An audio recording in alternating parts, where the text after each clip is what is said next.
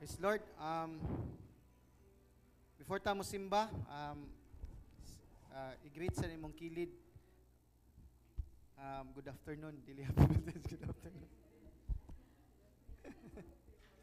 afternoon.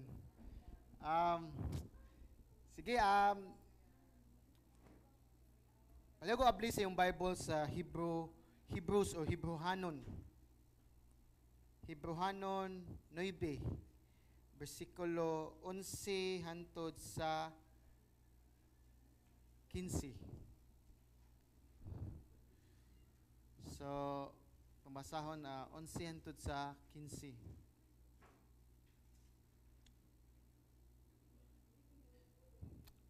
Hebrew, Hebreo 9, versikulo 11 hangtod sa 15. Akong basahon sa Cebuano, apan sa dihang miabot na si Kristo, ingon nga labawng pari sa maayong mga bu- butang nga nangabot na, agi sa labaw kadako og labaw kahingpit nga tulda, nga dili hinimo og kamot sa ato pa dili iya sa yutan-ong kabuhatan.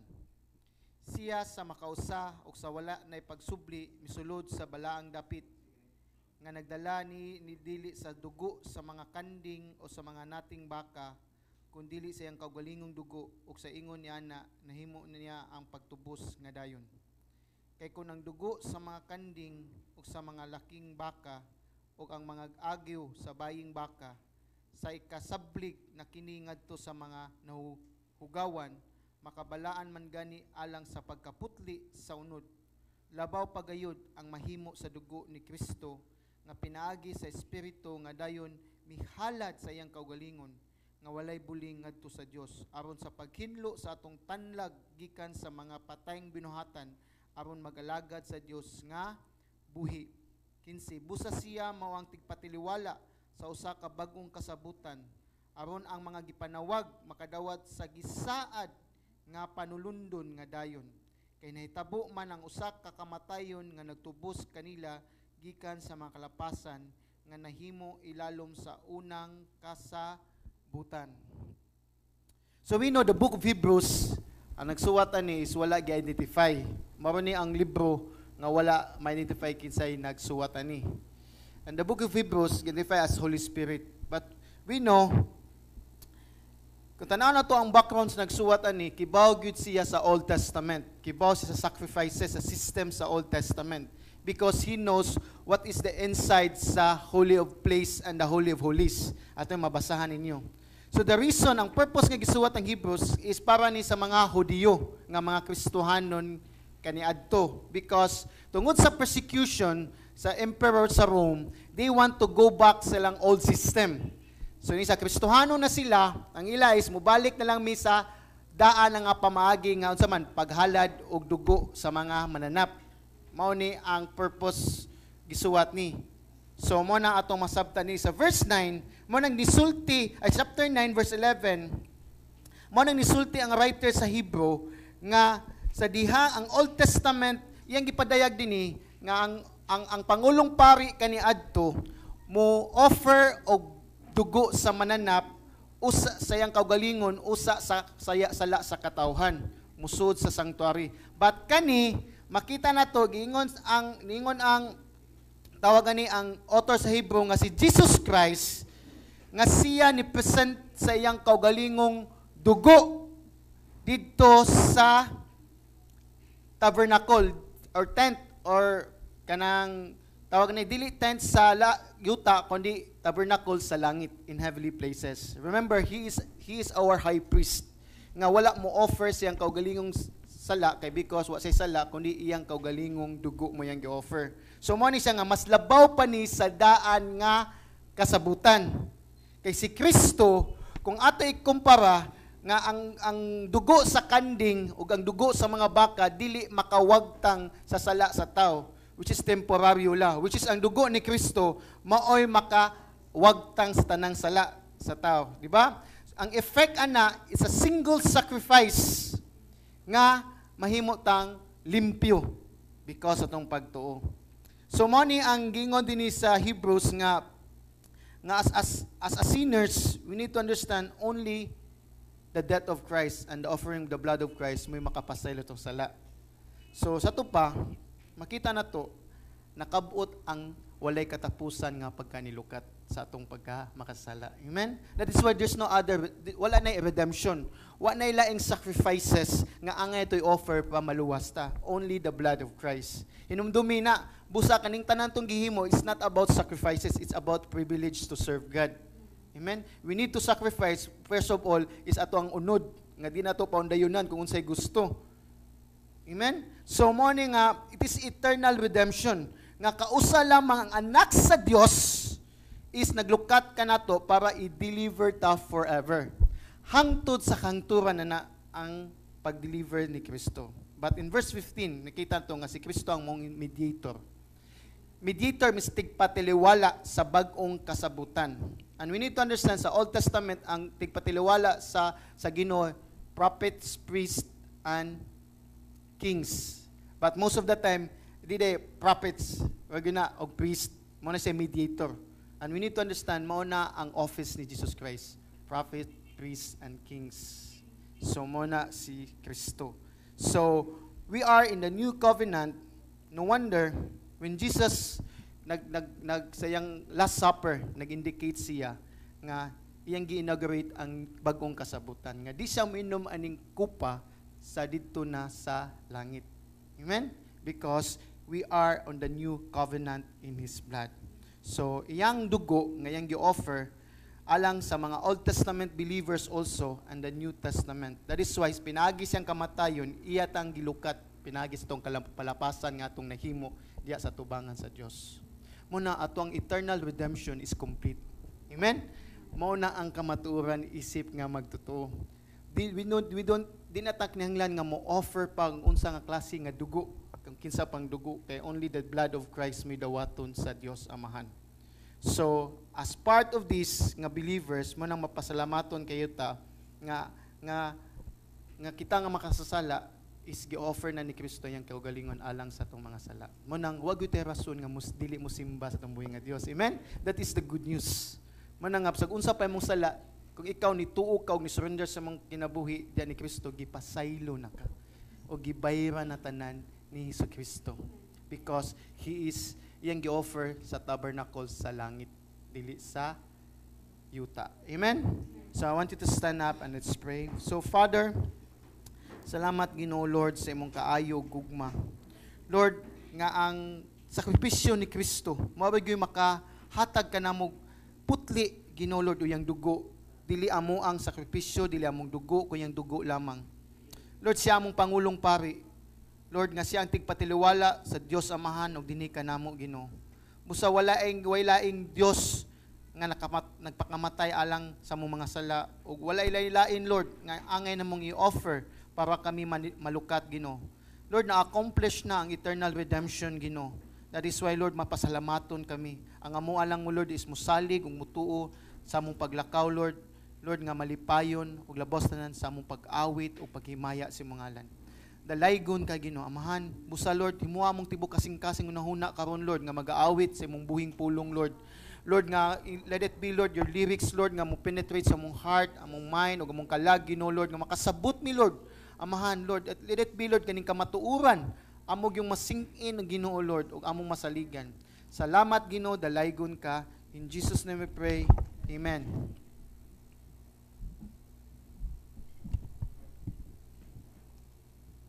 Praise be to God nga nagather at once again. Uh, ina yung tupad nga Jesus loves you. Jesus loves you. Praise God. So as we worship the Lord, let us prepare our hearts to glorify oh, His name. Oh, how great is the love of the Father that has lavished on us, that while we were still sinners, Christ died for us. Amen. So let us prepare our hearts and worship our living God. Oh, how great is your love, O Lord Jesus. Your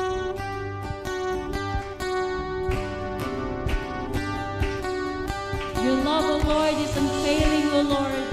Your love is unconditional, O Father God. Thank you, Jesus.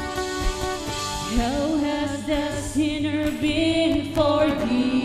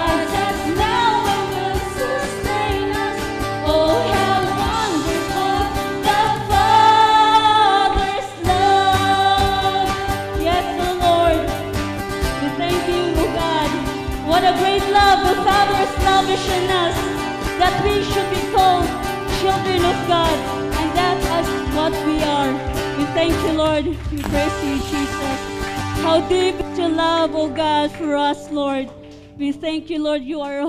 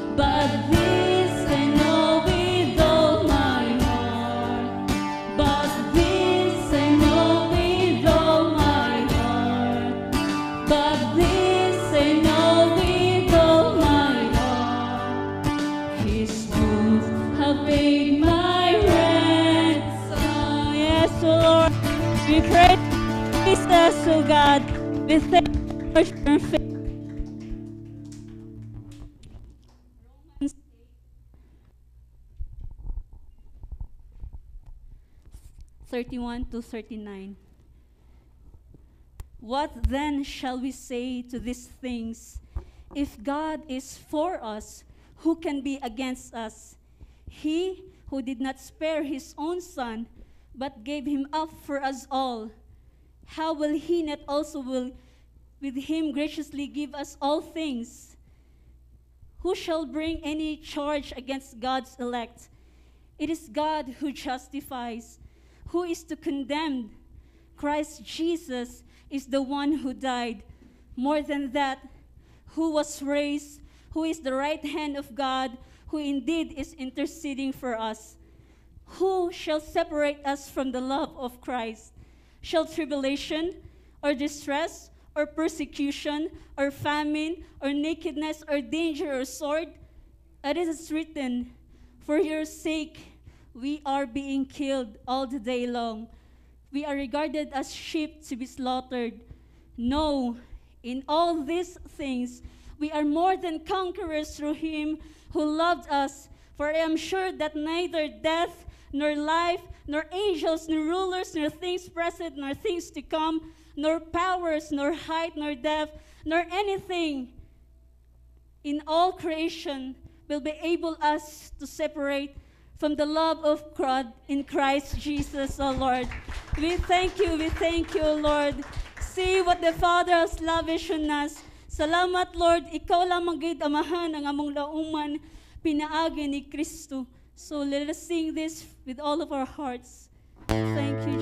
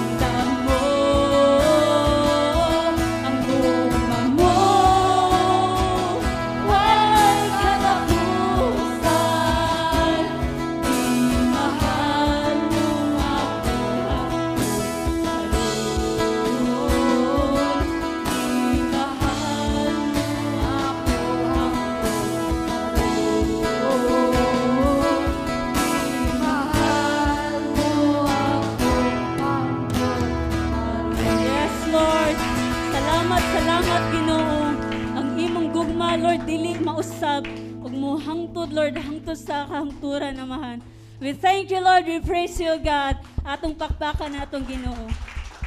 Thank you, Jesus. Uh, malingkod sa ta sama kadiyot. We have a few announcement regarding sa ato ang a night of worship nga atong pagabuhaton. Uh, we'd like to encourage everyone to please invite your friends, especially sa mga unsaved loved ones. And nato ang goal jud ani is to evangelize, to let them draw near more to Christ. So, kung kisa to ang ginahan mo adto or willing, na may pre-registration, just approach Jean, Jean's Onsepedo, and it's eh, it's a free admission, free ra niyahang ticket. So, moreover, nami ipakita nga video teaser in a while. Thank you.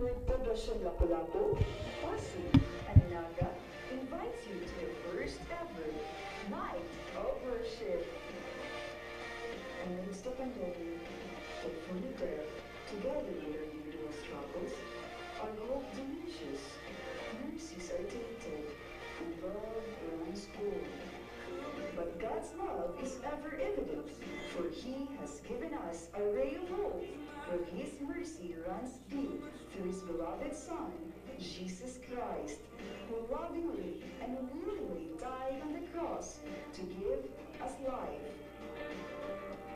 Let us praise the Lord and celebrate His everlasting and unconditional love for us. Come and join us on February 25th, 2022 at 6 p.m. at the Living Word Poblacion Lapu-Lapu. You can contact us on the following numbers, or you can message us on Facebook.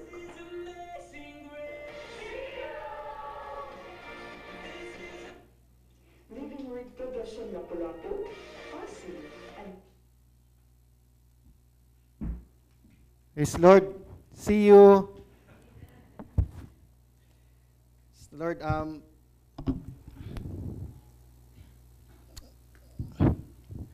tuloy itong worship, ug preliminary sa heaven, babag na ako sa langit. Babag mabuto ang kuan, building. Paliw. so praise the Lord sa inyong pag-awit sa buhay nga Diyos. Uh, paliw ko abli sa yung Bible. Oh, announcement pa din, senior sa ko. Church announcement. Um, uh, malihog ko kung kisa tong ganhan mo involved in giving tracts every Saturday. Um, kung makanhi mo, pwede ba mo manghatag tracts.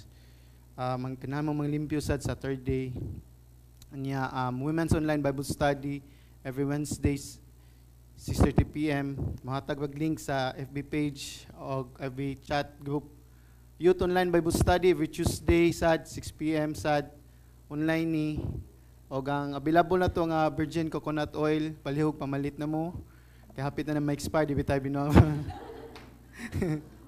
kanang to support our house of refuge sa mga kabataan dito. So, actually sa vitamin C sa na siya sa atong makayong samad ubo na siya. Um na pa? Wala. So, praise the Lord. Um padayon ko sa katong night of worship, so I encourage you to join the ang team dato God is Love. So, um nganong kana ilang ginay kuanan because this is a love month, February. So, kung nam managtiayon, couples ra o padung kaslunon, mabay pwedeng mag-date. So, mabay invite, mabay kung ganahan mo to. Kung di pa ganyan, ayaw mag-date. So, mabay plano pakasal. Lipitaw ka na lang at bring your loved ones or relatives karang kahit sa evangelism uh, worship.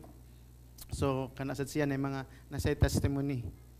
So, Nanyapil na turo, no? So, pala ka please yung Bible sa Galatians chapter 4. Um, verse, Galatians chapter 4, verse 4 to 7. So, manamantaan ni, pero ako lang ibalik because uh, mag-discuss, mag- mag-teach ko about sa doctrine nga naa dinhi sa Galatians. So, ang title nako is Adoption or Gisagup. Sa Sibano pa, or Gisagup or Pagsagup. Gisagup. So adoption. So mo ni usa sa mga doc- doctrine or teaching sa Bible sa ato ang kaluwasan. Actually wa ni siya labot sa kaluwasan kundi mo mo reinforce na ni sa imong kaluwasan. Because ang kaluwasan is the gospel even though wa ka kibawan ni luwas lang gyapon ka kay imong gidawat si Jesus Christ. The point lang ani kung nasayod ka is malig-on imong pagtuo ni Kristo o mas madasigon ka nga mulakaw isip Kristohanon. Kaya ang Biblia nagaingon ay isip Kristohanon daghan tag mga trouble dinis kalibutan. But because sa atong identity and position diya ni Kristo, through ani nga mga kani nga doctrine nga adoption is mas madasigon ka nga mulakaw diha sa atong pagka Kristohanon. Amen. So mo I hope nga ma-excited mo ani og ma may ma, ma encourage mo og labos na ma-reinforce yung faith diha ni Kristo. So, naibatanon nga babae nga nanganak. So, pag adto niya siyang ginikanan, kaya bisita siya, og nangutan na siya siyang ginikanan, nagwonder siya nganong iyang anak itong magbuhok. Nga sila siyang bana, put ka ng fair, man or blonde. So, saan ni ka-istorya nga ako nabasan. So, na-surprise siya. Nganong ito magbuhok iyang, or dark ang buhok sa iyang anak nga sila silang duha sa iyang bana is fair ang buhok. So, ningon iyang mama, nga total imong amahan masad ito masag buhok. So, but katawa siya, ningon siya nga, nakalimot di siya nga adopted sa day siya. So maybe, nakuha to niya, katong itom sa iyang tinudanay nga ginikanan. Dito tinudanay nga kuha niya. So mo nga nakalimot siya nga adopted di siya. So nga nga nga sa side siguro sa iyang mama or sa papa kung kinsa may kay mao man nga story. So with all these things nga story, makita na to is as a believer, sometimes we forget that we are adopted in God. So ato ning sabton unsa ning adoption kay daghanan sa panahon nato ang adoption is sa likway kang anak. But tan-aon ta ni sa biblical perspective sa panahon ni Paul sa Roman nga citizen. So similar way as God's adopted children, we too should come to cherish our heavenly Father's choice. Atong kalimtan na ang atong pagka badlungon nga anak sa kaniadto. Amen. So even though nga badlungon ta kaniadto pero ang amahan nga nasa langit mo'y nagpili na to o gitila gitag niyang mga anak nga lalaki o babae. Amen? So mao ni siya nga mao ni ang dako kang panalangin nga mahimo kang Kristohanon tungod sa iyang grasya o walay unconditional love nga hangtod sa kahangturan malipay ka. Mo ni pinakadako kang pribilehiyo nga mahimo kang Kristohanon. As Thomas Watson said, the great theologian and great pastors kaniadto, nisulti siya ni quote, God's choice to adopt us reminding us that God has a son, His own and such a son. How wonderful God's love is adopting us as believer. We needed a father, but He did not need sons and daughters. Laktod pagasulti, nanay si anak. Amen? Which a wonderful anak nga buutan kay si Kristo. Di na supposed to be manginanglag anak ang Diyos Amahan. Amen? But nangilang lantag amahan. So mo na nga usa ka butang nga ang natong mal, ma ma-enlighten ta sa atong position karon as believers. So in light sa previous sermon na to, ani nga passage nga we cry can cry Abba, which is daddy or father. Ato ning tanawon ang pagtulunan sa New Testament doctrine may tungod sa pagsag, pagsig, pagsagop, pagsigop, pagsagop sa, sa adoption. Kaya nga naman, mao niyang pinaka-comforting and encouraging nga kamatuoran sa scripture. Kung ato ning pamalandungan niya. So, mo nang kadaghanan sa mga santos or mga magtutuo, kung kasabot sila ni nga kaluwasan, nga mo nagdala na kapasayloan o deliverance sa atong silot sa sala, ni kung atong masabtan sad ang pagkasinagop, mao nang pinaka priceless jewels nga atong naangkon sa atong kaluwasan. Remember that one? Next time, unsa may pasabot ni pastor? Di lang paminaw mo, masabtan ninyo. Okay, because we need to understand our God is the Father nga who is nga nahigugma ka nato. Kay we treat man goods, last Sunday nga sermon is makita nato is atong pagilas Ginoo wag terror siya ba? It depends kung how we bring up to our Father. Di ba? Sometimes ani nga na sa to pagsabat sa atong Ginoo nga nasa langit. Kung nag, nag nagdako ta sa amahan nga tawag kaning kaning kaning napuno tag kulata or unsa pa linon lain tag kuan nga experience but we need to understand our God the Father is very kanang loving, merciful and gracious. Amen. I hope mausab sa tatong mindset ani nga kamatuan. So quote Warren Worsby said, A proper understanding of adoption is, is important if you and I are to enjoy our Christian life to the fullest. So, kung saktong pagpanabot sa pagkasinagop is kanang importante kayo para ma-enjoy na to atong pagkakristohanong kinabuhi. Because a lot of Christians dili kay sila ma-enjoy kay di think man good the God nga ilang gisimba is kanang dili maluoy, dili magugmaon. Mo nang mapuno na tas legalistic kay nga attitude. Mas ambis kung makasala ta ambis mudagan tas ginom, padagan ano ta palayo. Kaya atong pagsabot sa tong Ginoo, di magut atong nga anak ta. The same mga anak ka, sa ako na ko'y anak, even though akong anak ang kasala, but they know nga as a father, nga isip amahan nga, na, nga secure sila, ma-provide nila sila, may gugmawin lang amahan o maluluyon, di gusto lang mahadlok mo, duol good sila, diha nimo. Amen? In spite nga nakasala siya. So J.I. Packer, ningon pa siya diha, mga, nag-add siya nga, adding that an understanding of our adoption is the foundation of a vibrant, victorious Christian walk writing that if you want to judge how well a person understands Christianity, find out how much he makes of the thought of being God's child and having God as his father. If this is not the thought that prompts and controls his worship and prayers and his whole outlook on life, it means that he does not understand Christianity very well at all.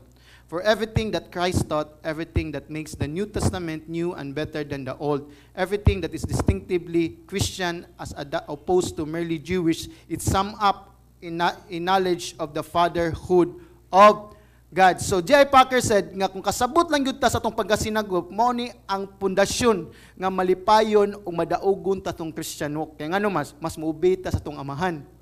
Amen. Mas mahadlok ta mo sala Di ba? So mo ni siya kung atong yung hukman, kung atong tanan tong atong pagkakristohanon kung napuno na lang kas kahadlok sa Ginoo actually mo na siya ang unahuna nato is wala to ilha atong Dios amahan as amahan. Gila na to siya agalon lang nga musilot ra permi siya masuko. Remember as I read the book Gentle and Lowly when we sin Christ ang Ginoo na gustupad nimo. Amen? Mo na nga do not run away from God. Run near to God So, mo na kay mo pasaylo siya. So, mo ni siya ang kamaturan sa adoption. So, tungod kay natas Galatians, sama sa nag-series ta sa book, nag-expository tani, we need to learn lang sad sa doctrine sa adoption. Para ma-reinforce atong identity nga kinsa gayud ta diha sa Ginoo mo na nga angay gyud ning sabdon para kita mismo is mas madasigon ta in spite sa circumstansya in spite sa tong kalisdan ug labos tanan in spite kanindot sa sala di ka ganahan mo sala. Di na kalamian sa sala ug labos tanan ganahan ka mo cut off sa sala because eh, kung kaila ka sa imong naangkon nga posisyon diha sa Ginoo. Amen? So mo ni ang katuyuan karon. So what is adoption? Unsam ni ang pagkasinagop? Ato ni tanan sa biblical perspective. Ano sa maning nahitabo ang atong pagka adopted. So when, di ba, tanawin niya, ako ni contrast or i-compare sa human nga adoption.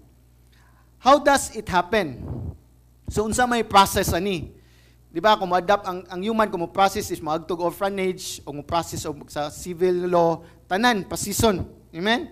Pero sa spiritual unsa man ato nga process. So mo na siya nga Paligog ablis yung Bible, Bible in Galatians 4 chapter 4 verse 4 to 7.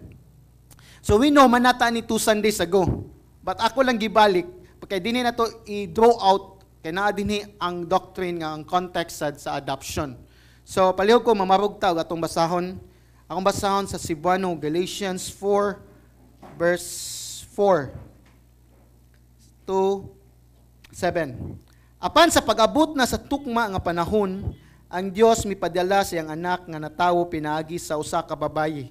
Natawo ilalom sa balaod, aron pagtubos sa mga nilalom sa balaod, aron atong madawat ang pagkasinagup ingon nga mga anak.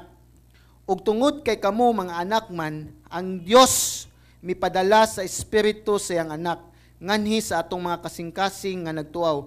Aba amahan, busa pinaagi sa Dios, dili na ikaw ulipon kun dili anak. Ug kun anak man, manununod usab. Magampo kita. Among lang itong amahan Ginoong Dios. Salamat Ginoo Lord sa imong kaayo. Salamat Lord nga nahimo ming anak pinaagi sa mong pagtuo ni Kristo. Lord, dako kay nga panalangin. Ug himuha Lord karong hapuna nga amo nang masabtan among posisyon Lord. Isip Kristohanon Ginoo Lord, being adopted son of God of God's. So amahan akong iampo nga kaniunta Lord nga teaching Ginoo Lord or nga sermon Lord nga Lord ma-reinforce ta nimong pagdasig Lord nga moobey dia kang Kristo nga madasigon Lord sa pagpangalagad ug pagsimba kanimo labos tanan nga dili mo undang in spite Lord sa kalisdanan o sirkumstansya ug even ang temptasyon sa sala Lord nga di na mo Lord i-embrace gid Ginoo because Lord we have a Father who is gracious loving Lord Ginoo man an maluluyon gid Ginoo salamat kay natanan let it be Lord this truth o God nga among pagapuy-an ug among Lord maabli ang kamatuoran sa among Lord sa among pagkakristohano Lord pagka anak sa Dios. Salamat Ginoo, dalaygon ka. In Jesus name we pray. Amen. Lingkod ta palihog. So what is adoption? Our English word adoption is filled, kumingon kag adoption is puno kani siya nga English word is kaning idea is gugma, kaluoy, grasya, og labaw sa nan sundurot intimate relationship. Kay we need to kung tanawin mo mo process kag adoption, ni adapt biya kag bata tao or bata nga di nimo kadugo. So grabe na nga gugma nga imong gibubo. Amen? Grabe na nga intimate nga imong gipili para ma-welcome siya sa imong family.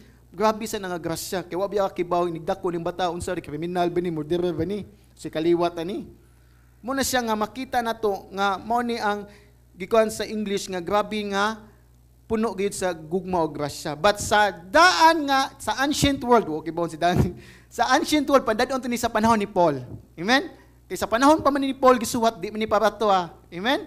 So ato tanahon sa panahon ni Paul. So nga nga ang adopted So ang ang adopted nga person, you need to understand, mawa na yang katungod sa daan yang pamilya kung i-adopt ka.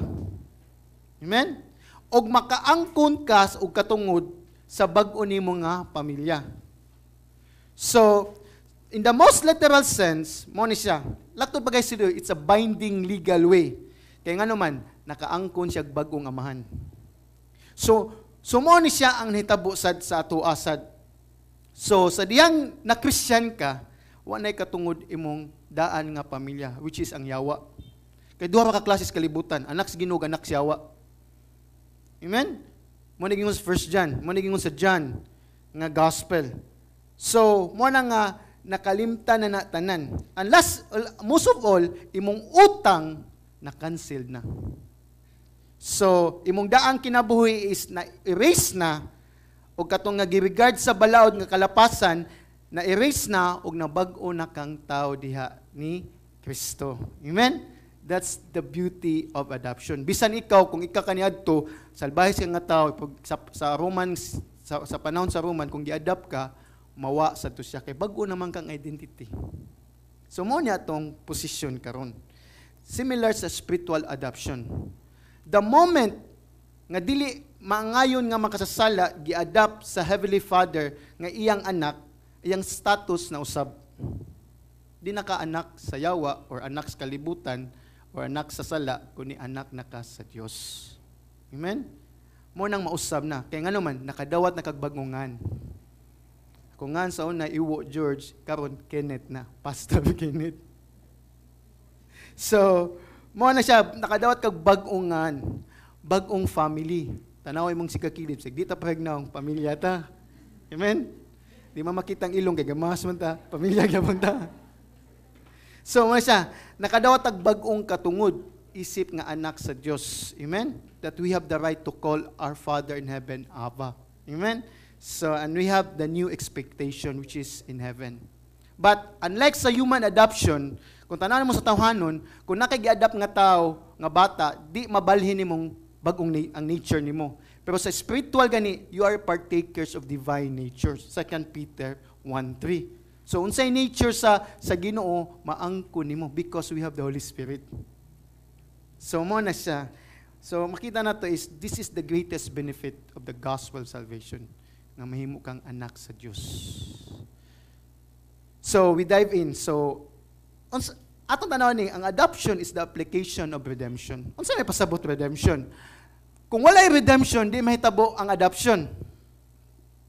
Mao ni siya. So unsa man ning redemption? Basahan to ako basahan Galatians 4:4-5. But when the fullness of time had come, ningon si Paul, So, God sent forth His Son, which is kinsang Son, capital S, Jesus Christ, born of woman, born under the law. So, natao siya sa babae, which is nagpamatod. He is incarnated. God incarnated. Ginoo nga nahimong tao. Dili siya tao nga nahimong Ginoo, ngayong dadunggan karon. Kundi Ginoo nga nahimong tao. Born under the law, it means he is a Jewish who obey the law. Verse 5, to redeem those who were under the law so that we might receive adoption as sons. So, nataw siya redeem. The word redeem nga atong ikuan is to buy out or buy back. Gilukat sa slave market. Kung kisa tong negosyo, man siya nga, it means na ay kay gibayran para malukat ka. Ang gibayad na to ang dugo ni Kristo. Amen? Para malukat ta sa atong mga sala. Morning nga technical term gitawag og redemption. We are redeemed by the blood of Christ. Gilukat ka sa dugo ni Kristo. So, ang behind ani nga word nga redeem is as ancient slave market. Kung maadto ka sa karaan, ang mga slave, mga ulipon, is, mga ulipon nga to, instrumento na sila, wa sila katungod. So kung madakpan ka slave ka, ibaligya ka slave market. Yang slave market, saba, hugaw, kanang samok, naadya tanang sala, pero si Kristo ni sudid to, mo ni picture lang, ni sudid to para lukaton ka. Which is, ang, perp, ang, ang, ang picture na, ang beautiful picture is sacrifice, which is ang cross. He came here to save us and to redeem us. Each one of us. This is not corporate. Mo nang ang kaluwasan to individual. Do not defend your ayo pag ayo depende imong pagtuo sa imong bana, sa imong sawa, sa imong anak o sa imong cat church member. Dapat kibaw ka nga si Kristo may niluwas nimo. Because Hebrews 2:9 bisan ikaw ra usa pakamatyan gyapon ka sa Ginoo. Di na mausab. Amen?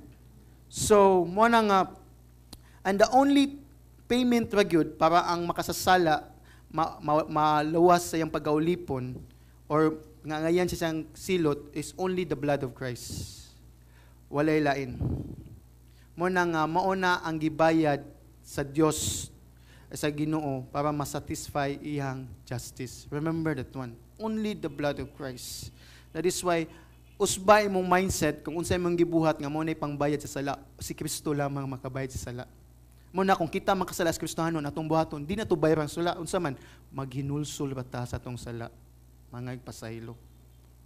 Ayaw buhata nga moadto pa kag kanang maglatiggo pa kasi magalingon magluhod pa kag gikas pultahan pa dong altar unsa pa na diya para makabayad si Kristo ray makabayad sa sala. Amen. Iyang dugo ray dawaton sa Ginoo. O kung man nabayran na 2000 years ago, ang ato is repentance na lang.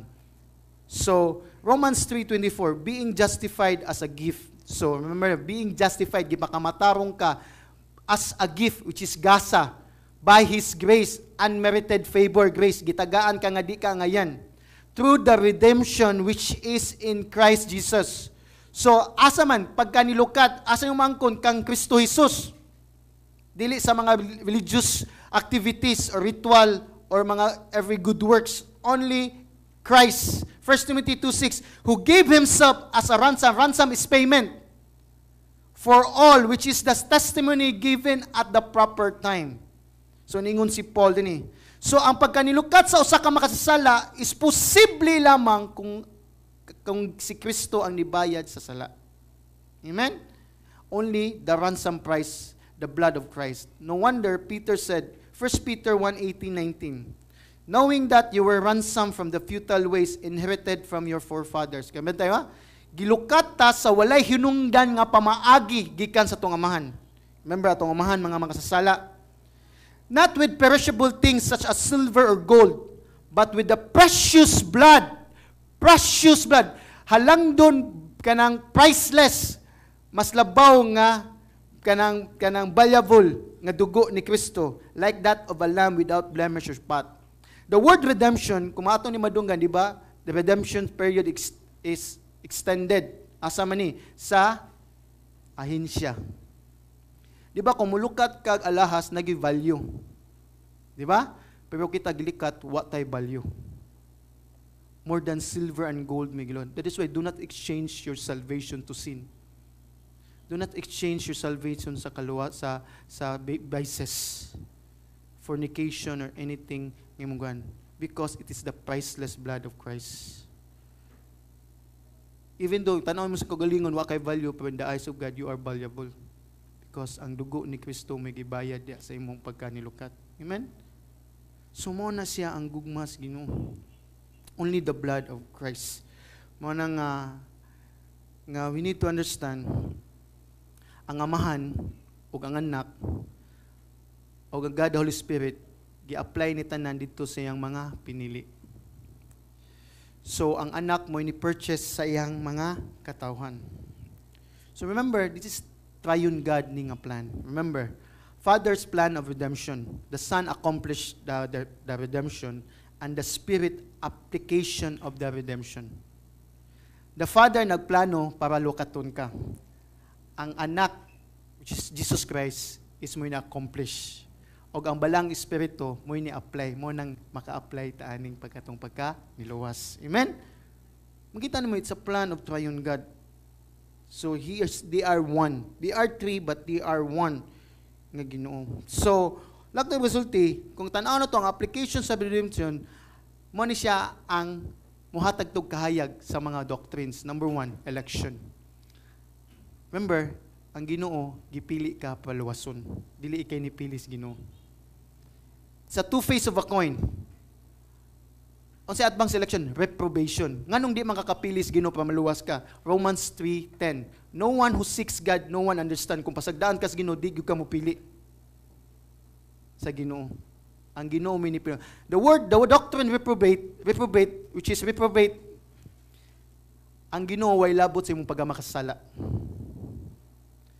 The Bible says in Genesis 6:5, kay na Miss Genesis nagbasa ano sa mga anak, um, the intention of man's heart is inclined to evil. Ningon ang ginawa na, ang intention sa kasing-kasing sa tao is evil. Unsay unsay unsay hope na to para malusa? Wa. The only hope na to kung gipili ka sa Ginoo. Mga gyud na. Munang do not think nga through aning mga religious accomplishment or religious kanang attainment maluwas ka. No, only God can choose you to be saved. Amen. So mo na siya nga mo ni nga mo ni mga doctrine, mga teaching, application sa redemption. So sa ng pagsulti is kung nahitabo ang redemption, mo ni siya ang ma-apply na to. Election, reprobate, atonement, which is covering of our sin. Mo ng atonement, which is Jesus Christ.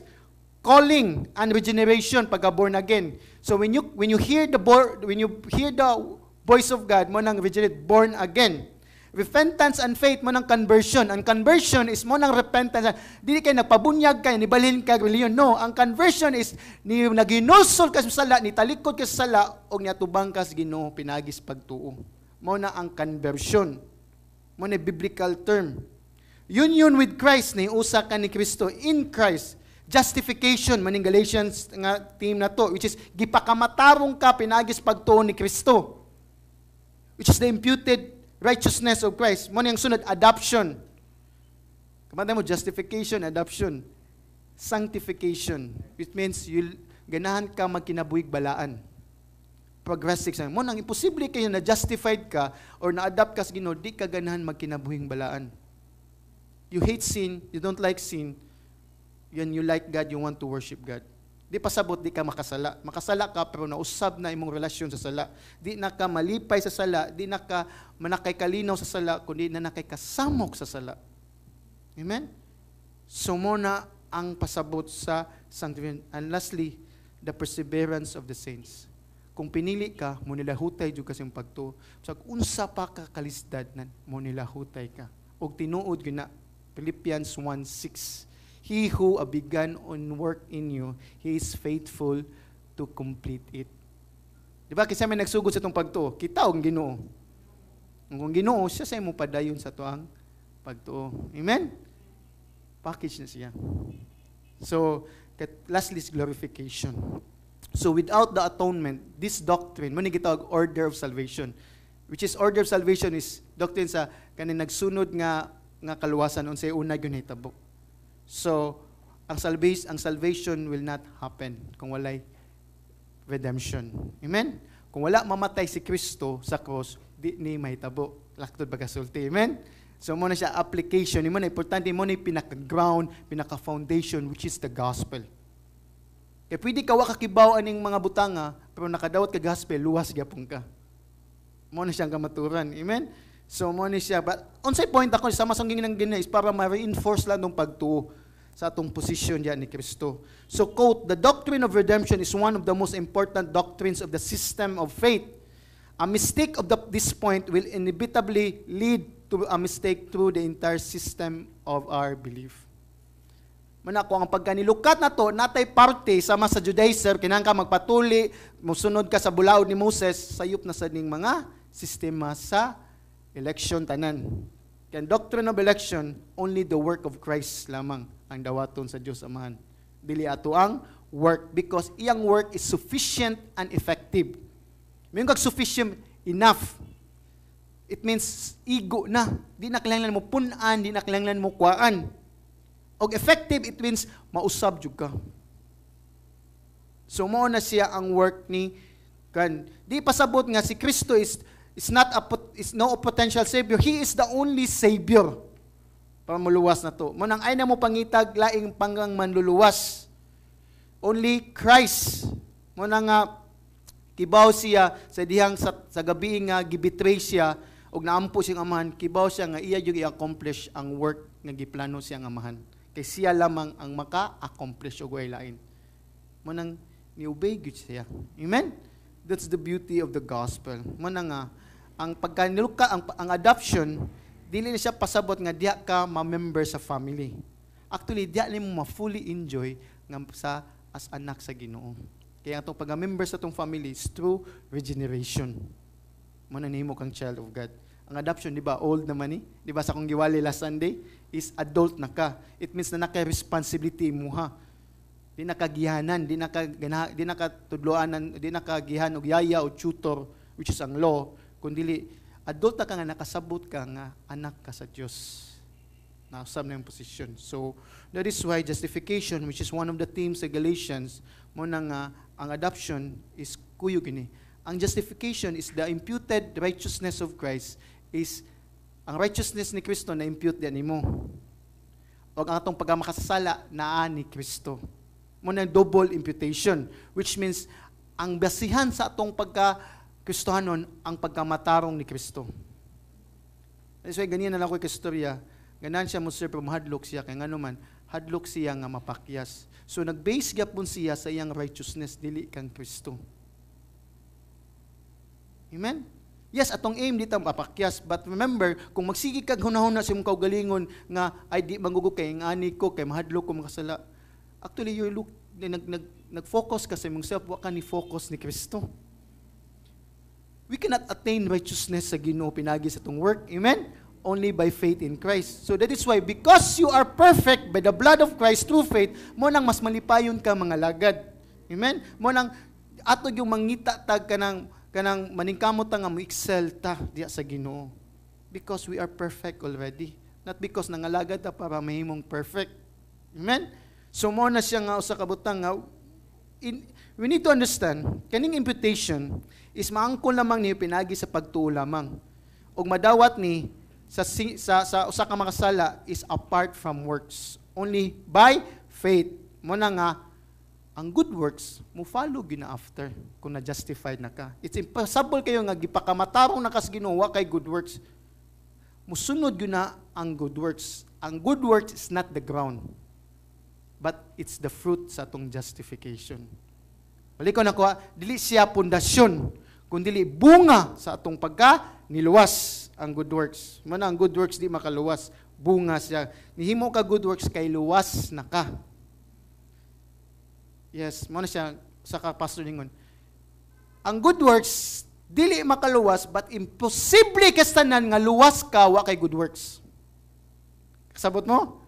Ang good works dili makaluwas pero imposible kastanan nga luwas ka nga wa kay good works. Mapuno jud ka sa good works kay luwas na ka. Amen?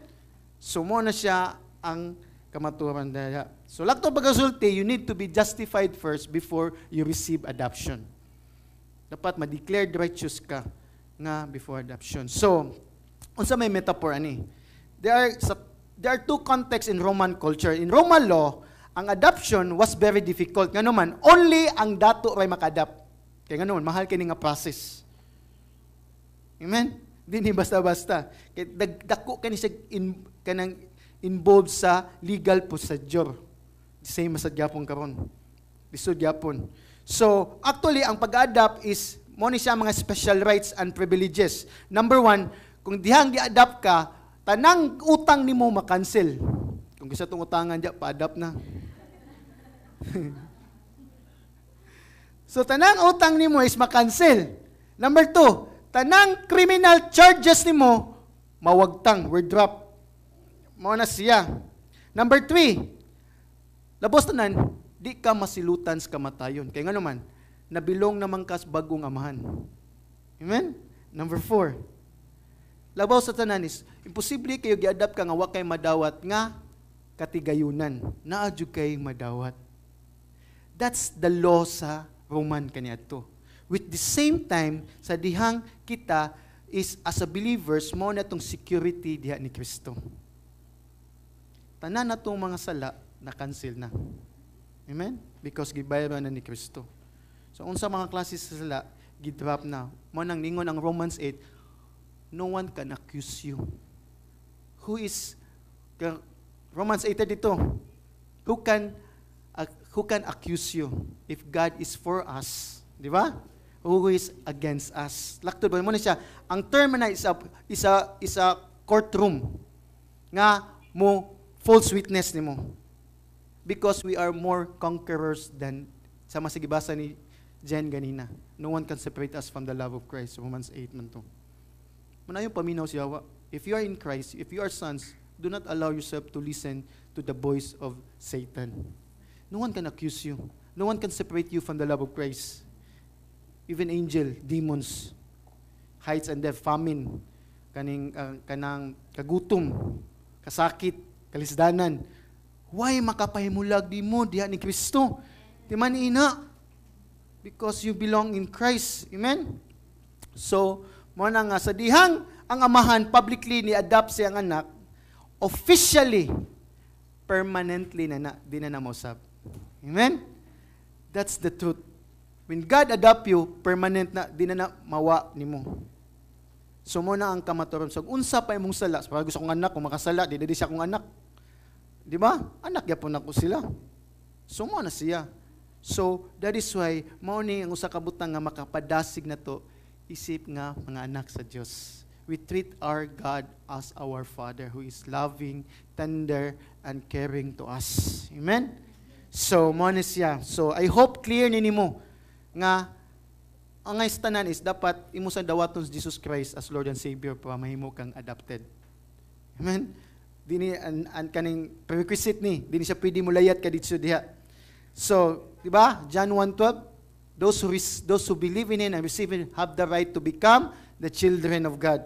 So you need to go on Jesus. You need to receive Jesus as Lord and Savior. Di kay nagsimba-simba ka, adopted na ka. You need to receive Christ as Lord and Savior. Amen? You need to be born again first, then become adopted. The question is, are you born again? Kung dili, how do you know you're born again? It means you have the Holy Spirit inside of you.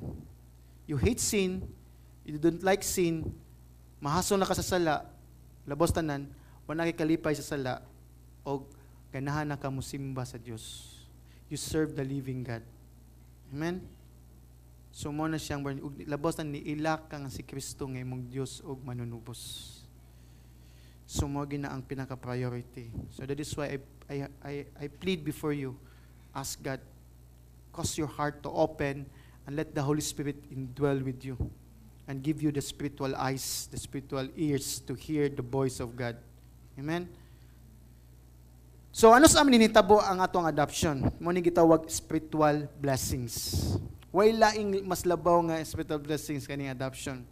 So that we might receive adoption. So in Ephesians 1:3 for 1:3:14 ato ni makita dinhi nga ang nagplano sa atong pagka-adoption is ang Dios Amahan eternity past wala pa ta na tao giplano na ta di ba Galatians 4:9 di ba now that you know God or rather by known by God Di ba? Kung gingon lawali last Sunday, nga natong si Abraham gipilis Ginoo because giilhan niya siya sa Ginoo nga siya gikan niya magsugod ang ang kaliwat sa nasud Israel. Amen. Nganong si David gipili because kay si ang Ginoo nailhan na siya before foundation of the world.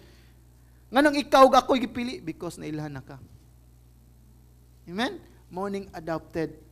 So Ephesians 1:3 Blessed be the God and Father of our Lord Jesus Christ, who has blessed us in Christ with every spiritual blessings in the heavenly places. So, ang adoption ni morning spiritual blessings, one of the spiritual blessings, kapag plural, is one of God with every spiritual blessing in the heavenly places. So, blessed be, mo ni ang worship ni Paul because iyang naangko ni.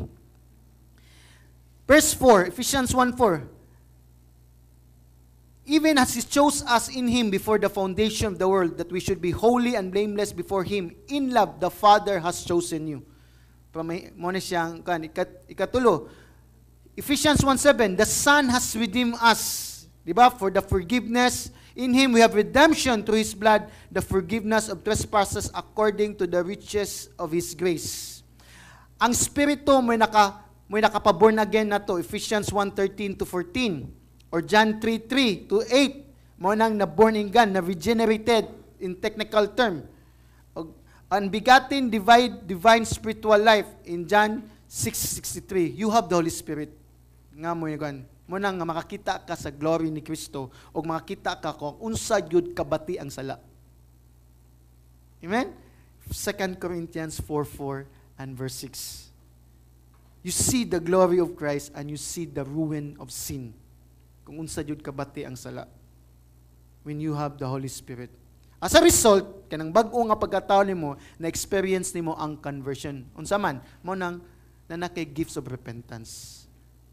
Og nanakay gifts of faith. Mo nang maghinusol jud ka sa imong sala every time you sin. Og magpalayo ka sa sala, mo cut off ka na. Di ka pwede mo puyo sa sala, laktod pagasulti if you are truly born again. That's the truth of the matters. And you face God by faith, mo na ang gingon sa Bible. Kay pinagis pagto, mo nang nahiusa na ka ni Kristo. Kung unsay kinaa kang Kristo, maangkon usab nimo. Amen? So mo na ang kamaturan. So we have been adopted as sons of God. Nadawat na to pinagi sa Espiritu sa iyang bugtong anak nga mao si Kristo. So even kay earthly adopted parents, sadyang mamatay sila, ang manunod sa ilang katigayunan, ang anak man yun. Amen? Mao gyud na ang principle. Muna siya, kung kita sad, even though dili kita ang natural son, adopted raman ta, kung unsay naangkon ni Kristo, ato pong naangkon. Mao na ang kamaturan. Iyan ang gipili, ang costly nga love. Kanang malang ma, mahinang duno, mahinam costly love. Okay ba siya? His provision of grace upon grace. That is why, ang insay mong dalawat as adoption, mo ni pinakalabaw kayo nga spiritual blessing. Mo na siya nga live on it.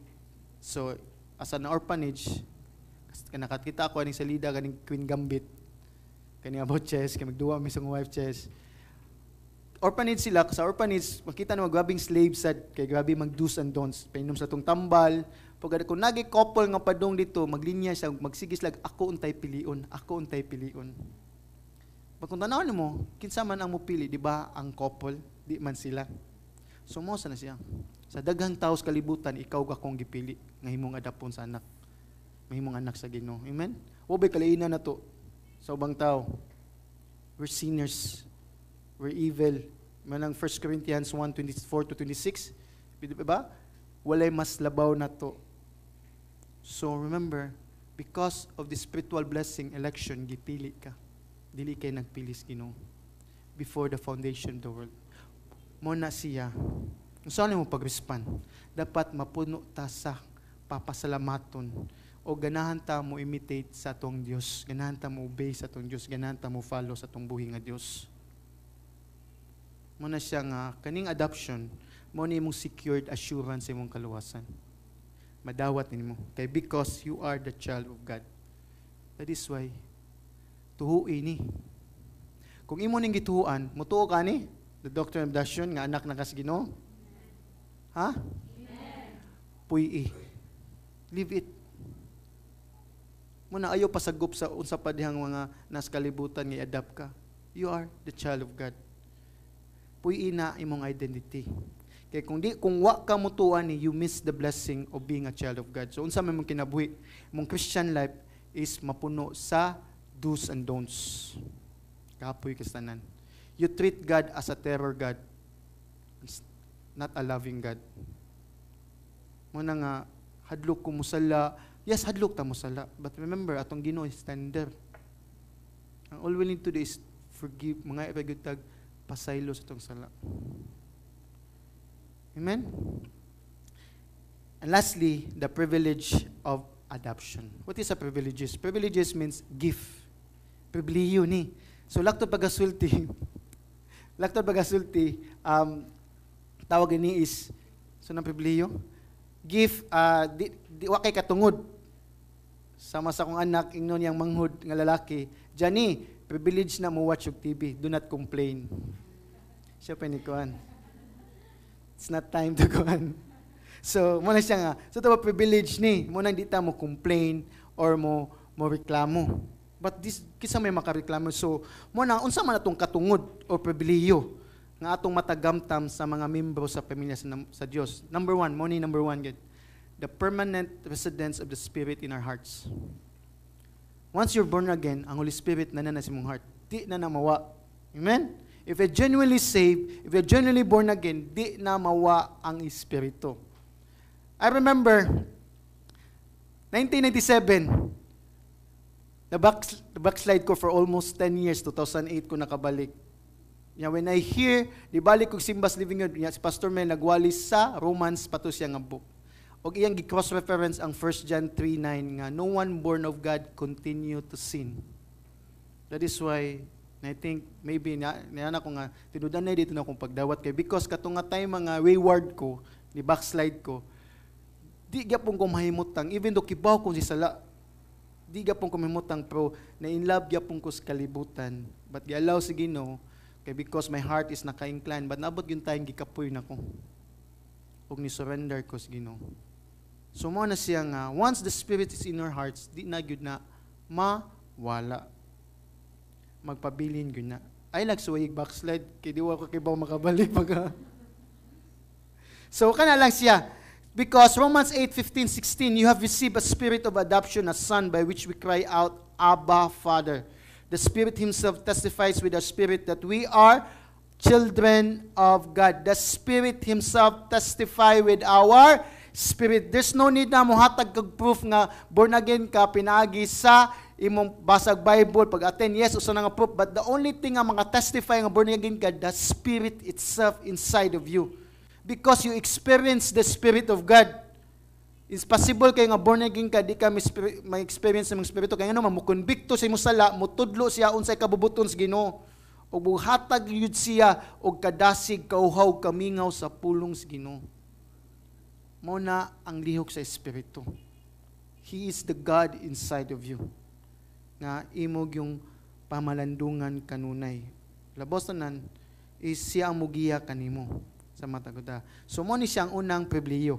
It means ang ang spirito ni puyo sa tong kasing-kasing. Mo na muhatag na itong kagawasan sa sala. Mo nang di ka makapadayon sa sala, makaundang ka sa sala, o di nakaganahan mo sala. Amen? Mo na ang espiritu. Labos na nan ganahan ka makig-fellowship sa kabanay sa pamilyas Ginoo. Di nakaganahan makig-fellowship sa walay Ginoo. Kay kung sige kag padayon na madaka mauga imong pagkakristohanon. Ang purpose of fellowship is to share the gospel. Dili kay kay magkahugoy-hugoy ka na. So kung wa man gani, dapat ikaw mo cut off. So mo na siyang bantayanan kay subtle ba kang sin, kalit lang kag kadry. Kay the reason nga nung di taganahan sa Ginoo because of sin. But the indwelling spirit din ang mawa. Mawa la ang fellowship of the spirit. Mo na ang sala. But when you repent, mabalik ba dayon? Genuine repentance. Amen? Ikaduha, the freedom of the glory of the children of God. Therefore, you are no longer slave, but a son. And if a son, then an heir to God. Saman, nakay kagawasan sa paghimaya, isip anak sa Diyos. Amen? Muna di ka mauwaw musimba sa Diyos. Di ka mauwaw bisan asa bitaw Galatians 4:8 kay kaniadto na ulipon ta sa mga Dios Dios. Pero karon nakadawat ang espiritu sa pagkasinagop mo nang gibalingkawas ta sa pagaulipon sa mga Dios Dios ug karon na natay kagawasan nga mahimaya sa buhi nga Dios ug musilbi sa buhi nga Dios. Amen. So mo na siyang Romans 8:21 that the creation itself also will be set free from its slavery to corruption into the freedom of the glory of children of God. 2 Corinthians 3:17. Now the Lord is the Spirit. And where the Spirit of the Lord is, there is freedom. Do not be deceived. If you are genuinely saved, di ka pwede maulipon pagbalik sa sala. Anong naulipon ka? Kaya nagpaulipon ka pagbalik. Sama sa mga Galatians. Remember, you are more than conquerors through in Christ Jesus. So kung na-disturb ka karon sa mensahe karon kung sa gadaduha ka undangan na ng salaa, kay di mo ni mo hatod nimo sa imperno. Grasya ni siya. So remember dili na kita mga ulipon sa usa ka galon, kundi permanente na tang mga anak sa atong amahan. Amen. O ang Espiritu mismo nagsaksi sa atong mga kasing-kasing aron pagsiguro ka nato nga kining bag-ong relasyon tinuod. Amen? Katulo, we can cry out, Abba, Father. Mo nindot. When you, when you cry out, Abba, Father, sama sa kong anak, kung muhila na, mugakos na pagayo. Because kibaw siya, when he cry out to his father, secure siya, provided siya, safe siya. Og na mang lalaban niya. Amen? Makita mong intimate relationship. Muna, kung wapa mo kasuig hilak sa man, suwayin ninyo. Because when you experience that, when you cry out to God, this is the beautiful experience as being a believer. Nga makahilak kasi mga mahan. So, because there's a bond with kind of love diya. Remember, this is the God of the universe. This is not ordinary God. Amen? So when you cry out to Him, makita nimo iyang gibati ang child, makasinati siya childlike affection. Nga, as Ava Father. So, as you remember, when Jesus cried out, nga grabing hilak, asa man nga grabing hilak si Jesus Christ before sa gilangsang? Di ba? In the Garden of the Gethsemane. Di ba yung gi-address Abba, which is nag, nag, nag, nag, nag-signifies most endearing tenderness and intimacy between a father and a son. Grabe itong hilak, Father, take this cup away from me. So unsa may response sa Ginoo sa God the Father? Ni plead si Jesus Christ sa cup. The word cup, kung basahon mo ang ang, ang text ani word study sa Old Testament is the wrath of God. Ang kapungot sa Dios.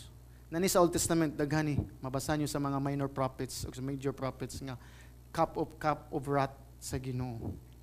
So he called him Abba, Mark 14:36.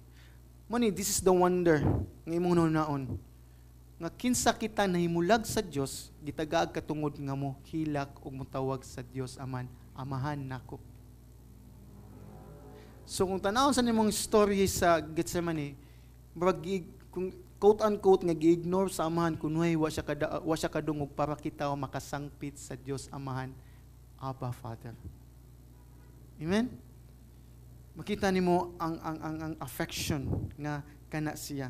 That is why nga maka wa niya dungga ang ang ang sangpit ni Jesus Christ Abba as if pat kadungog siya but remember kung tanaw nimo ang context take this cup away from me three times ni plead Jesus Christ og sa lain ko na sa theologian ingon pa Lord amahan wa bay laing pamaagi ani why man the father is silent kung basahan yung text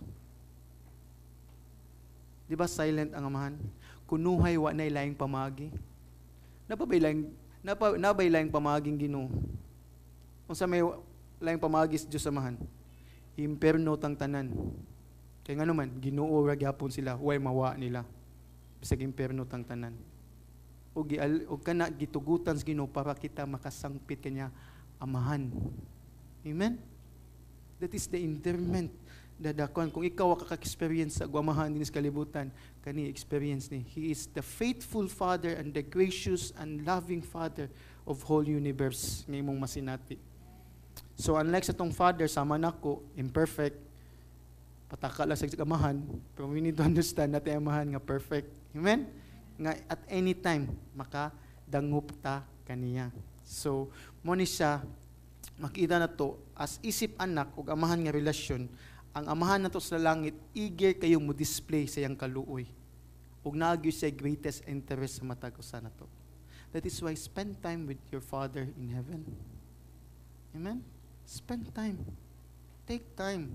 Even 15 minutes start lang 15 minutes a day until mo hours siya kay gitagaan ka katugod nga motawag kanya because he is a good father di ba So, mana Matthew 7:11, if you then being evil know how to give good, good gifts to your children, how much more will your Father who is in heaven give what is good to those who ask him. So, even ang context about the Holy Spirit. So, iyan ang gi-compare din ni ang ang tawhanong amahan nga even ga ang tawhanong amahan yawanon kibaw gay mohatag og maayong butang silang anak much na kuno ang Dios nun ang, ang amahan nga nasa langit? Nga mas pinakamaayo gayud nga amahan. Amen? Yeah, because of this, siya atong amahan nga nasa langit, mo nang di na ta mabalaka sa atong daily necessities. Sa atong, di- sa atong adlaw-adlaw. Kaya nga naman, in Luke 12, 29, 30, and do not seek what you will eat and what you will drink, and do not keep worrying. For all these things, the nations of the world eagerly seek, but your Father knows that you need these things. Kung paano mo pangayo akibaw ang ginoon sa need nimo. Food, shelter, He knows. Amen? But after nga ni nga verse, unsa may gihatag nga comfort ni Jesus sa iyang disciples. Verse 32, Luke 12:32, which is mo na kang giwali itong pila ka Domingo. Fear not, little flock, for it is your Father's good pleasure to give you the kingdom. It's a kuman, ayaw kahadlok, akong gagmayng panon. Kay mao ni ang gikalipay sa Dios Amahan nga taga gihatag ang gingharian which is gingharian gospel which is gingharian si Kristo kung gihatag niyang bugtong anak na niya para kita maluwas unsa pa may dili mahatag sa amahan amen busa ayaw kahadlok remember our God the Father is not distant is not disinterested in us he is generous mo nang ilhay ang Diyos Aman as your Father with affection, with relationship. Kaya ang amahan, sama sa earthly father, ganahan yun mahatag sa iyang good sa iyang mga anak. Amen? So, mo sa nato ang langit, langit ng amahan. He is eagerly delights to give us to share the fullness of the kingdom itself. Amen? That is why we are heavenly people. And number four, we can approach to Him the throne of grace. Sama sa ganina, nga we can come to Him, we can cry, Abba, karon is makaduol ta niya at any moment in the throne of grace. So, Ephesians 3.12, in whom we have boldness and access with confidence through our faith in Him. Kung tanawon yung Old Testament, tagalan itong background para makasabot pa nin if, if, impact sama sa akong gibasa sa Hebrews. Ang makasud sa holy place ag holy holies ang mga pari ra. Sa holy holies sa pinaka-present sa Ginoo ang high priest once a year. Mag-inilugay ang mga pari sa ilang duty. Kabantay mo sa Psalm, better than one day in your court than a thousand elsewhere, which is nagtanaw siya sa duty niya sa temple. Mas nindot pa nga sa one day sa temple kasi siya, niya siya kato sa usa ka psalmist nga ningon nga may pa kunong langgam kanunay nas presensya sa Ginoo. Maybe na siya sa temple kita siya sa langgam nga nag nagpusa dito itlog nga nas presensya sa Ginoo. Kamantay mo ilang desire. Kay because ang ang priest kaniadto only two years in every one ay two, two, two, two times in every one year makasuod sila sa temple. May nilang duties. Ang high priest once a year masuod sa Holy of Holies. This is the throne of grace. Kung naman kay agtuon nga trono, the throne at the feet of Christ and the feet of your Father, which is the highest place. Amen? So mo na siyang gitagaan ta nga mo nang we can cry, Abba, Father, what a great privilege nga makaduol ta sa grasya ug natay kumpiyansa sa atong Heavenly Father. Mo na siya ang atong amahan matinungha, matinguhaon nga maminaw sa atong request every time mo duol siya nato. Mo nang gitulos Bible. Amen? Matinguhaon kayo. Verse 5, ay, verse 5, number 5. Mo ni pribileyo, we receive loving and fatherly discipline. I hope maminaw mo ani. Pribileyo ni kung disiplinahon ka sa amahan. In Hebrews 12:5-6, nalimot ba kamo sa makapadasig nga mga pulong? Awa, makapadasig nga mga pulong. Nga gisulti sa Dios kaninyo ingon nga iyang mga anak, Anak, isipa nga mahinungdanon nga pagdisiplina sa Ginoo kanimo ug ayaw kaluya kung badlungon kaniya kay disiplinahon sa Dios ang tanan nga iyang gihigugma ug kastiguhon ang tanan niyang anak nga iyang giila. Pribileyo kay na kung kastiguhon ka ug disiplinahon ka sa Ginoo. Di ba? Sama na kung akong anak, di na ko disiplinahon, so wa ko nahigugma niya. Mo naging sa Proverbs 3:11, 12. My son, do not despise the Lord's discipline or be weary of his repro- reproof. For the Lord reproves him whom he loves, as a father the son in whom he delights. Mo na akong gitulo sa akong anak, sa tong discipline, which means love. Kaya kung wati ka discipline, di ka love.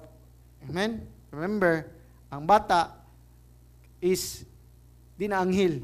Yawan-un, yapon na, kay makasala na. Na sa ka pastor ningon, ngano man ang bata gipakataw nga bata. Paminaw. Ngano ang bata gipakataw nga bata gamay? Kay ngano man kay kung dako na mo patay na nimo. Ngano ang bata cute? Kay ngano man patyon sa nanimo kung di na cute. It means mao na ang effect sa sala. Inganang effect sa sala evil. No wonder nga ang Ginoo gitagaan yung mando sa Biblia unsaon pagdisiplin ang ilang anak. Because the papel sa parents is to suppress the to, to, to, to, suppress the evil inside sa bata. Muna siya nga cute-cute lang na pero kung di na mo bantayan, mahimo ng kriminal. Mo ni importante kay sanan. So, mo ni nga disiplinahon sa Ginoo ang iyang mga anak. Problema ni sa dihang kita mubiya sa kabubuton sa Dios ug mo apil sa mga makasasala nga mga nahuna ug mga buhat, siya maghatag kanato og lain-lain nga kalisdanan o kasakitan para kita mapasidanan kanato nga ang pag ang sangpuntanan sa sala silot gyud. Amen. Og pinaagya ni kining kuan is makagiya kanato nga maghinulsulta sa atong mga sala. That is why mo na ang pag-ugmad kanato sa pagdisiplina sa Dios Amahan is mo na makahamtong kanato nga unsa man mo repent sa atong mga sala muna, before what happens sa imong life, reflect it or meditate, Lord, na ba ko'y sala nga nahimo? Kaya kung tinunod na kang anak sa ginoo, disiplinahon jud ka. Amen? Mo nang explain sa author sa Hebrew. Maka-experience yung kag discipline. Kaya nga naman, giila ka sa Diyos Amahan, isip anak. Kay, for what son is there kung ang ampahan dili mo discipline? Kay kung di ka disiplinahon, dili ka tinudanay nga anak. Amen? Hebrews 12:7 to 8. Kung mo-withdraw na gig disiplina ang Ginoo, actually madawat am nimo ang pinakadako kayong disiplina. Unsa man? Impierno. Muna nga, kung ikaw nila kang Kristohanon niya, wadyo ka disiplina ha. Pangutan na kung tinudan na ibang anak. Kaya ang Ginoo mo disiplina gyud. Kay Newman ko sa tawhanon lang ang Biblia nag-ingon sa Proverbs 13:24. Kung ang ginikanan dili mo disiplina siyang anak, gikalagutan niya ang anak. Proverbs 13:24. Paminaw mo mga anak o ginikanan. Whoever spares the rod hate his son, but he who loves him is diligent to discipline him. Kabantay mga word diligent. Kay kapoy kay pagdisiplina. Dapat madasigon juga mo disiplina. Mo na sang kung di mo siya you love you hate him. Mo na sa amuha nakoy rad kanang nakoy bunal. Nigbu nigkupot ako, manago na na sila. So mo na siya nga kuan nga nas babaw sa mong rep usay mo wa taguon. so mo na siya nga it means love ni to be reminded nga ang mis ang sin is nagi punishment. Amen. Di sa inyo makabuak og baso unsa ba? Ay lang kanang violate gid sa law ba? Kanang pamakak, kanang kuan mo dishonor sa parents kanang may klaro nga discipline. Amen.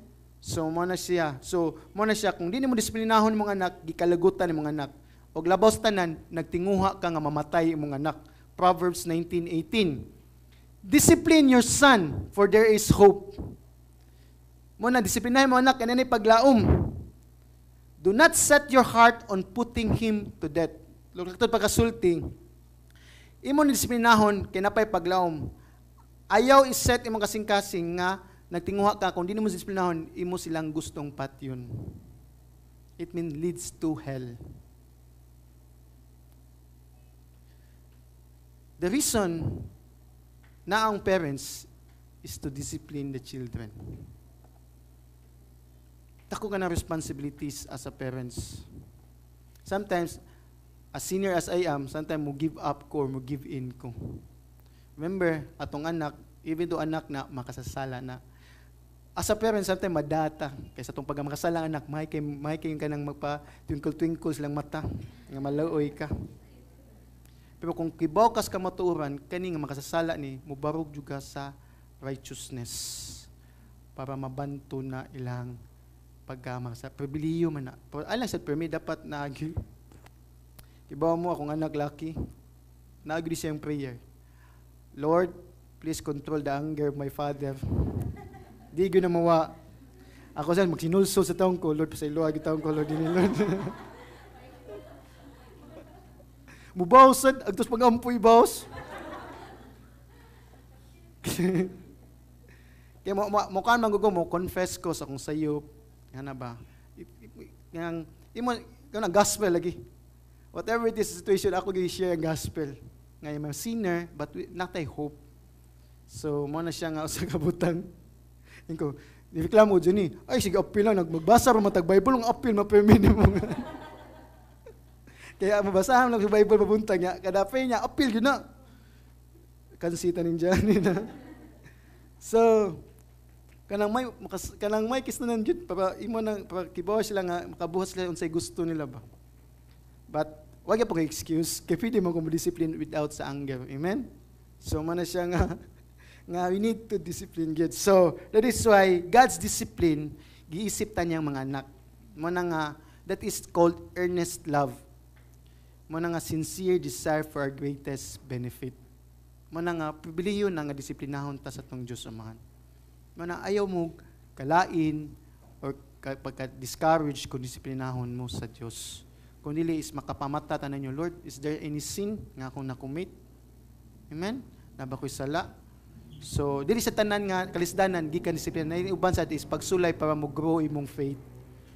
So, mo na nga sa kabutang sama ni Job, sama ni Jesus Christ. Wag siya sala, lisod gigigian. Amen? Pag dito disiplina, kundi siya, yan siya para sa tong kapasayloan para maluwas na to. Amen. And lastly, is maka-garantiya ni nga madawat na to ang eternal life. Mo yung privilege. All of these privileges malip ma-enjoy tani in the present time. Mo na atong pagka-adopted children of God, atong pagka sinagop nga anak sa Dios makagarantiya na to sa future inheritance which is eternal life. Mo na nga as mga anak sa Dios or ad, gi-adopt sa Dios mo nang madawat sa nato ato ang mga ay, at madawat sa nato ato ang inheritance which is eternal life. Remember, we are no longer slaves but son. So that is why you are the sons of God, the heirs of Christ. Ina mo tupad, sons of God and the heirs of Christ. Co-heirs with Christ. Day. So, so, in human relation, kung mamatay ang mga ginikanan, ang papadayon sa ilang legacy ang anak. Muna karon, wala namatay itong buhi atong gina, ginikanan. Muna po napatas kalibutan, atong dadon ang legacy ni Kristo Jesus. Anang magpuyo ta mga mga anak sa Diyos. Amen? Because we belong at the kingdom of God. So, mo ang pribiliyo nga pagka sinagop sa anak sa Diyos, which is mas labaw ni sa pribiliyo sa anghel. Yung anghel, di mo mo tawag sa Diyos amahan. Amen? Mo ni remember, kung himo kang anak sa Diyos, na bilong ka sa bagong kasabutan. Mo na, ang anghel dili makasabutan ni. Kay kitara gila nga anak sa Diyos. Ang anghel means a hero. That is why the Bible says, we are greater than angels. Mas labaw pa ta sa anghel. Amen? So mo na nga, ang anghel dili makaparticipate ani nga pag-awit nga isip nga ilang gibati anak, kita way makaparticipate nga atong bation nga isip nga mga anak sa Dios. Mo nang it gives comfort sa atong heart. Mo na nga puy ini ay ni kalimti nga doctrine. I hope makapadasig ini mo sa imong paglakaw isip Kristohanon. Pero ang kadaghanan nato mga Kristohanon is wala masayod sa ilang pagkaanak ilang nahuna gyapon ulipon gyapon nga ilang Ginoo nga gila is musilot dayon kung masayop. Remember our Ginoo is pribiliyo kay ta nga gihimo tang anak. Mo na nga maglakaw ta nga mas malipayon diha sa Dios di ta magkurog. Lahi ning reverential fear ha? the word reverential fear is hadlok ka mo dishonor sa imong amahan. Amen? Mo na reverential fear. You want to honor God. The same with your father relationship good. Di ba? Hadlok. Di mo siyang di ka ganahan ma-dishonor. Ganahan kang nga ma-honor imong Diyos amahan. Muna nga, itratar ang Diyos nga imong amahan nga nasa langit. Ayaw siya itratar isip agalon nga kanunay ka nga gahadlok ug magkurog mga lagad. Treat her as your father. Amen? So, muna siya ang kamaturan. Now, we experience the freedom muna of fear of condemnation. Romans 8:1 there, therefore there is now no condemnation those who are in Christ Jesus. Mo nang dinatamahadlok masilutan, dinatamahadlok may imperno because we belong in the family of God. That is our positions as sons and daughter. So, laktod pagasulti, dawata na kay nganuman og pipuy og, og dawata na og puy ina everyday nga ikaw anak sa Dios kung imo nang puyan everyday mo nang mahadlok ka mo sala, di na ka magpadayon pagpasala o di na ka ganahan sa sala, kundi ganahan na ka mo honor sa imong ginikanan, sa imong Dios amahan nga nasa langit. Amen.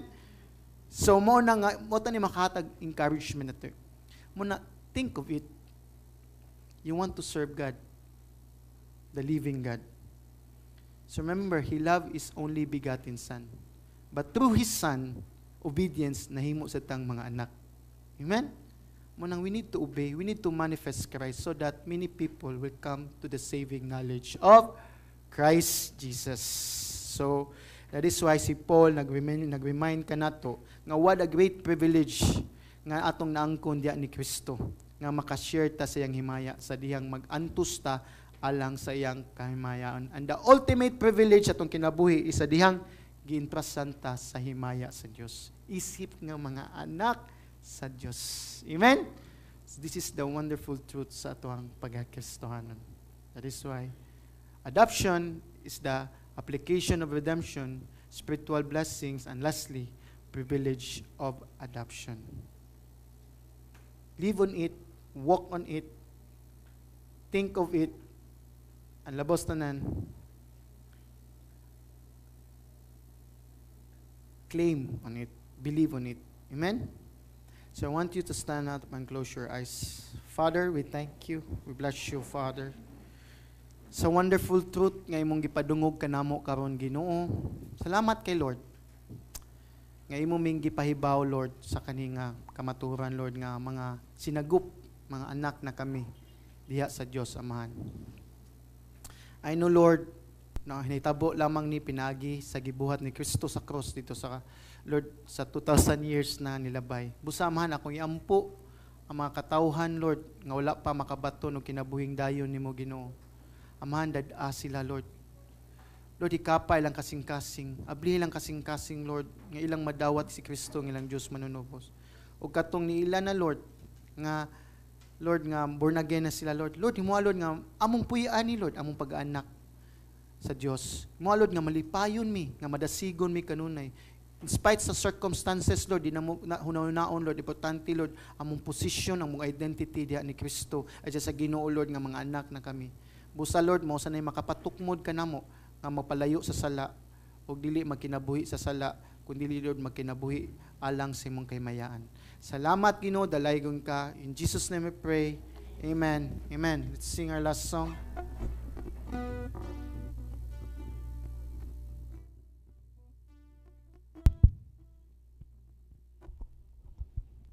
Praise be to God. Not only does God love us, but He has adopted us into His family, calling me, calling you sons and daughters. Let us continue to praise our God. Thank you, Lord, for your love, O God.